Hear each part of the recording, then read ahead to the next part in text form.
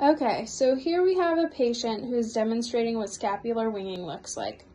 A few of the muscles involved around the scapula include the rhomboids, which run here and here, as well as the rotator cuff muscles, which are along the outside here. If any of these muscles are weak, it can lead to shoulder pain and instability. So as we can see here, the shoulder blade, especially at the end, of her range of motion is popping out a little bit. So here's the bottom part. Watch it pop, especially on this left side right there. And really, it should stay close to the rib cage, which is running underneath of here.